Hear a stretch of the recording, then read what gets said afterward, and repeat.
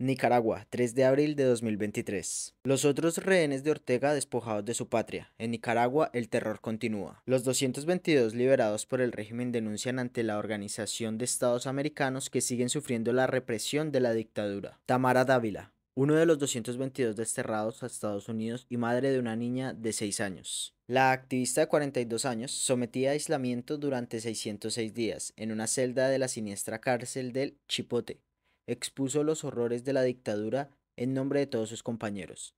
Y lo que dijo en el Consejo Permanente de la Organización de Estados Americanos ya forma parte de la historia política del organismo panamericano. Durante 22 meses, Dávila habló con las arañas y los pájaros para no volverse loca en el aislamiento en el chipote, crueldad que se empleaba especialmente contra las madres, que como Tamara no podían ver a sus hijos. Esos rehenes de entonces lo son hoy todavía. En Nicaragua el terror continúa denunció Dávila casi dos meses después de ser escarcelada. Tengo 48 días en libertad, pero aún no me reencuentro con mi niña, que todas las noches reza junto a su abuela pidiendo que le entreguen el papelito para poder viajar y reencontrarse conmigo, y para nunca más volverse a separar de mí, precisó Dávila con emoción. Una sola voz con palabras de muchos, aquellos que el 9 de febrero sí fueron escarcelados, pero a costa del destierro, de quedarse sin patria legal, de ser privados de sus derechos políticos. Desde entonces, a buena parte de los 222 les han despojado de sus bienes, como si se tratara de una nueva piñata del siglo XXI.